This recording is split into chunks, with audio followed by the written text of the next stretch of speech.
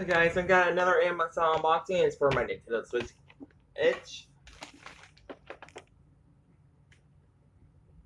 Oh wait, there's already a tear strip in it.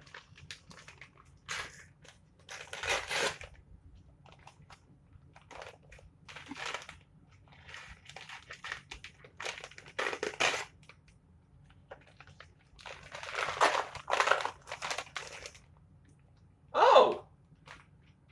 Weird. I thought it was going to be unwrapped. But yes, guys, y'all want to know what it is. I know y'all are going to get mad about it, but here it is. Mortal Kombat 11 on the Nintendo Switch. Yes, I know. Do I have it on uh, the Xbox One? Yes. Did all the DLC gameplays on it, the fatalities, the story mode, and all that. Um, yes, uh, here's Scorpion on the front. This is just the standard edition, so side, the back.